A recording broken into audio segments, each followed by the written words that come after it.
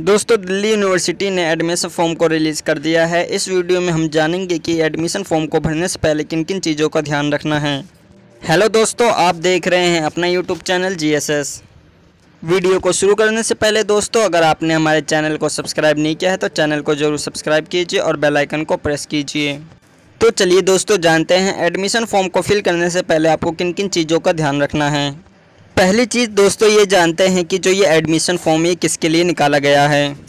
अभी के लिए दोस्तों डीयू ने केवल रेगुलर स्टूडेंट और एनसी वेब वाले स्टूडेंट्स के लिए ये एडमिशन फॉर्म निकाला है। दिल्ली यूनिवर्सिटी के जो एडमिशन फॉर्म है दोस्तों, इसे कल से भरना शुरू किया गया है। इसकी स्टार्टिंग डेट थी या फिर आप ऐसा कह सकते हैं इसकी स्टार्टिंग डेट थी 2 अगस्त और इसके लास्ट डेट है। फॉर्म को फिल करने की लास्ट डेट है इकतीस अगस्त। फॉर्म को फिल करने से पहले दोस्तों आपको कुछ चीज़ों का ध्यान रखना है कि जैसे डॉक्यूमेंट क्या लगेंगे कितनी फ़ीस होगी? पहली चीज़ दोस्तों, आपको ये ध्यान रखनी है कि जैसा कि आपको पता है, कल से डीयू के एडमिशन फॉर्म को फिल किया जा रहा है। आपको ये जल्दीबाजी नहीं दिखानी कि जैसे स्टार्ट हुआ हम, वैसे जाके अपने एडमिशन फॉर्म को फिल करने लग जाएँ या किसी से भरवाने लग जाएँ। फॉर्म को फिल करने से पहले आपको इसका प्रोस्पेक्टर रीड कर लेना है कि इसमें कौन कौन सी बातें लिखी गई हैं किन किन चीज़ों का ध्यान रखना है। उसी के बाद आप इस फॉर्म को अप्लाई कर सकते हैं। सेकंड चीज़ है, जिसमें हर किसी को प्रॉब्लम होती है, वो होती है डॉक्यूमेंट अपलोड करने की। इसमें सबसे पहले बेसिकली डॉक्यूमेंट ये लगते हैं कि आपका इसमें जो टेंथ की मार्कशीट ट्वेल्थ की मार्कशीट आपकी एक फ़ोटो आपका एक सिग्नेचर बेसिकली डॉक्यूमेंट चाहिए होते हैं। मान लीजिए दोस्तों, आप अपना एडमिशन फॉर्म अपने मोबाइल फ़ोन से फिल कर रहे हो तो इसमें आपको सबसे पहले डॉक्यूमेंट अपलोड करने से पहले मान लीजिए आप अपना फ़ोटो अपलोड करते हो तो इसमें आपको सबसे पहले अपनी फ़ोटो खींच लेनी है। फ़ोटो खींचने के बाद उसको क्रॉप कर लेना है। क्रॉप कर लेने के बाद आपके जो इंस्ट्रक्शन दिए गए उसमें देखना है कि फ़ोटो का साइज़ कितने साइज़ का रखना है। फ़ोटो का साइज़ देखने के बाद दोस्तों आपको उस फ़ोटो को अपलोड कर देना है। सेम टू सेम दोस्तों आपको अपने सिग्नेचर के साथ भी ऐसा ही करना है। अदर डॉक्यूमेंट्स की बात की जाए तो दोस्तों इसमें आपके टेंथ की मार्कशीट और ट्वेल्थ की मार्कशीट आएगी। जब आप इन अपने डॉक्यूमेंट को अपलोड करोगे तो उससे पहले आपको इसे सेल्फ़ अटैच कर लेना है। इसका मतलब ये होता है कि दोस्तों, जो आप अपने ओरिजिनल डॉक्यूमेंट की फ़ोटो कॉपी कराओगे, उसमें आपको अपने सिग्नेचर कर देने हैं। सिग्नेचर करने के बाद ही दोस्तों, आपको अपने सारे डॉक्यूमेंट अपलोड करने हैं। यहाँ पर दोस्तों ट्वेल्थ के मार्कशीट के ऊपर थोड़ी बात करते हैं कि जैसा कि आपको पता है ट्वेल्थ के एग्ज़ाम नहीं हुए थे तो उन्हें जो एग्ज़ाम है, उनका जो मार्कशीट है, वो कैसा बना होगा।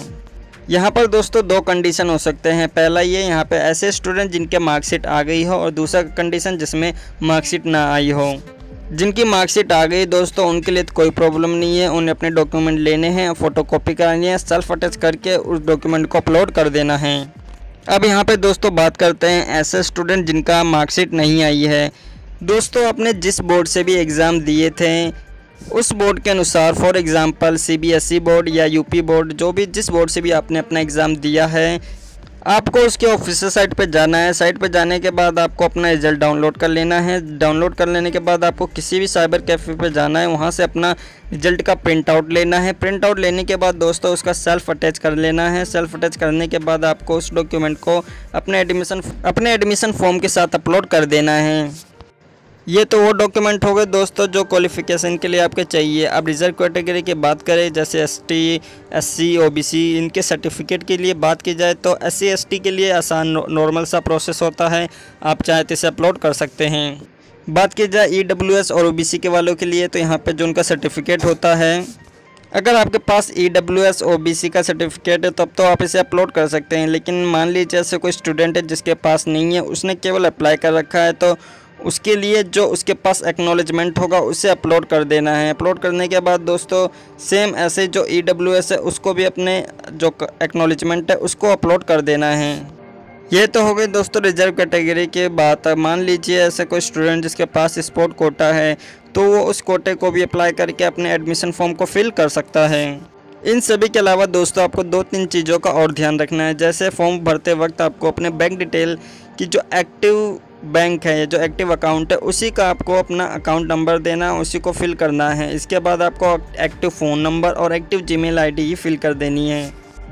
इन सभी बातों के ध्यान दोस्तों, आपको फॉर्म भरते वक्त ध्यान रखना है। इस वीडियो में दोस्तों बस इतना ही। आई होप आपको समझ आ गया होगा कि कौन कौन से इंस्ट्रक्शन या किन किन चीज़ों का ध्यान रखना है आपको फॉर्म भरते वक्त। एक चीज़ का ध्यान और रखना है दोस्तों, वो है चैनल को सब्सक्राइब करना। चैनल को सब्सक्राइब करना मत भूलिएगा और बेल आइकन को ज़रूर प्रेस कीजिएगा।